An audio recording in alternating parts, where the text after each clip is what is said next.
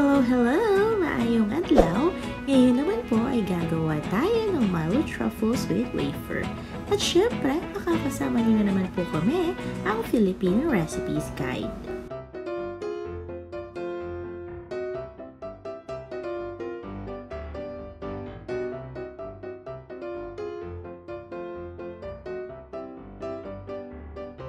Ito po ang mga kailangan nating ingredients. 2 pieces wafer biscuits, 1 4 cup condensed milk, at syempre ang ating 1 cup Milo powder. Diba guys, ang simple lang ng mga ingredients? Tara po, simula na tayo! Una po, durugin po muna natin ang ating wafer biscuits tapos we set it aside muna para mamaya. Then, ilagay na po natin ang ating condensed milk sa ating mixing bowl. Magdadagdag lang po tayo ng kalahati nitong ating Milo powder, saka naman natin ito hahaluin.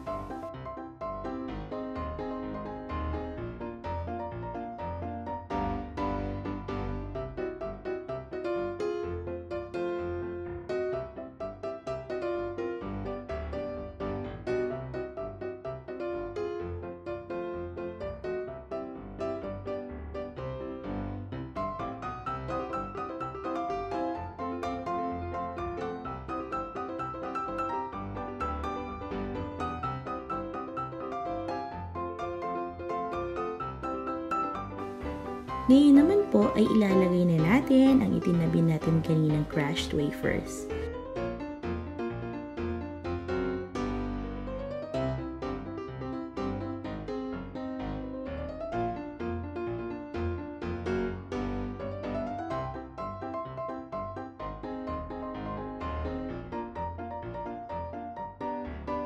Then, syempre, hahaluin natin ito ng mabuti.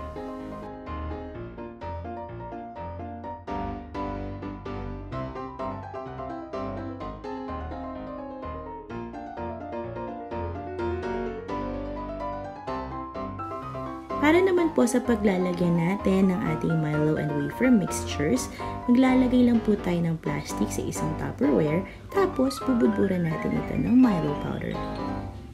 Saka naman natin ilalagay ang ating mixture at bubudburan ng Milo powder ulit.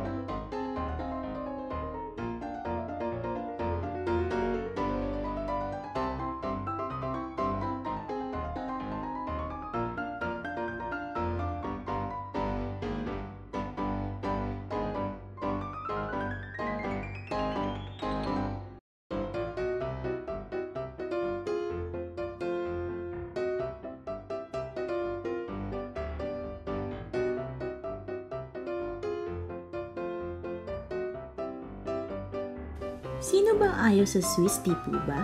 I-try nyo na rin gumawa nito sa bahay nyo guys. So, if you enjoyed our recipe today, like, share, and subscribe to our channel. Salamat!